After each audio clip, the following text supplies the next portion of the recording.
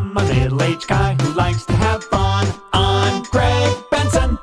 Oh my god, you have a Roomba. Okay, guys, let's try this.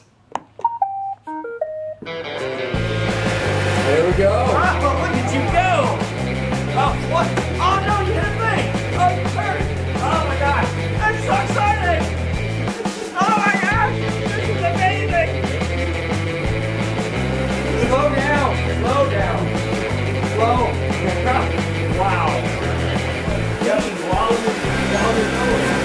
Roomba vision, folks! This is amazing!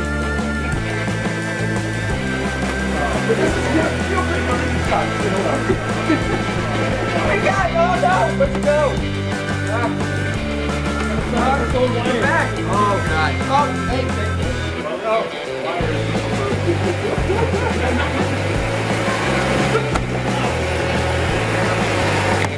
A little shoe action there. Yeah. No! You can't go under furniture. Oh man.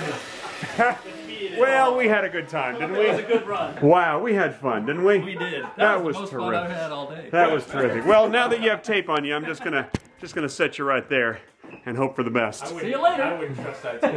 There you go. All right, thanks for playing, guys. Nice seeing you.